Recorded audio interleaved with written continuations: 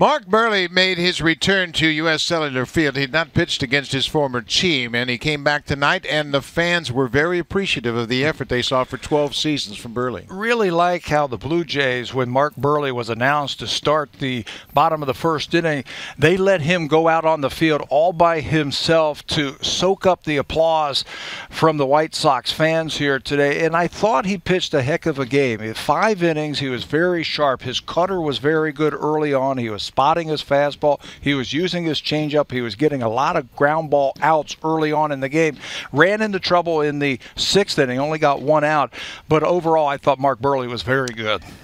The White Sox scored three runs in the sixth inning to tie it up, but once again it was Melky Cabrera coming through with a big hit to once again give the Blue Jays the lead. Hit a big home run in the last night's game for the Blue Jays, and then had to come up with a big base hit here. Runners second and third, first pitch hitting, and when there's runners on base, Melky is waiting for that ball. He gets it from Matt Lindstrom, ringing double up the gap. Uh, was booted a little bit in center field. He went to third base, but Melky Cabrera has been driving in big big runs, getting big hits for the Blue Jays all season long, and he did it again. Jose Bautista would add an RBI single, little insurance run in that inning as well, and the bullpen wrapped it up. Casey Janssen picked up his 19th save of the season. Drew Hutchison will go to the mound on Sunday afternoon trying to win the series against the White Sox.